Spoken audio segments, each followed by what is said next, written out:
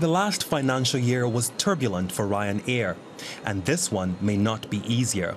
Last week, the airline received a letter from the Irish Pilots Union threatening to strike. Preventing pilot walkouts is one of the company's main challenges, and it could affect its bottom line.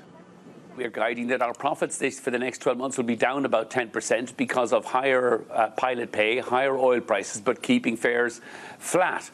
Ryanair's operational costs are set to rise. In December of last year, the carrier agreed to recognize trade unions for the first time ever.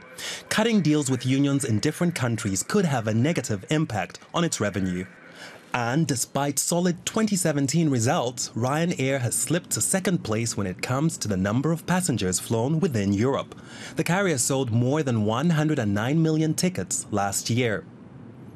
But 2018 and 2019 could be tough. The spectre of a hard Brexit means Ryanair may have to pay extra charges in the UK. The company has warned that flights could be grounded if there is no agreement between the EU and the UK.